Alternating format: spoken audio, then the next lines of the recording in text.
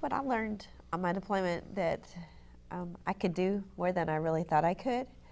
That I could be the soldier that I've always thought I thought myself, you know, that I was.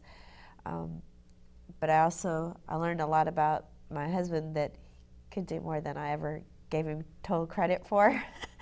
he, he really never did. He never he never had to make the bottles and he never had to to take care of the the child rearing kinds of things. He was constantly deployed or in the field. Sometimes then, we schedule them field times just at the right time. Yeah, yeah, yeah.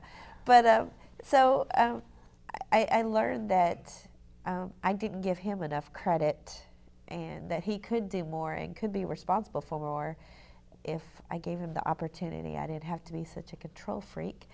Um, so I learned that we could do that together, and uh, so I think that's what I learned on my deployment.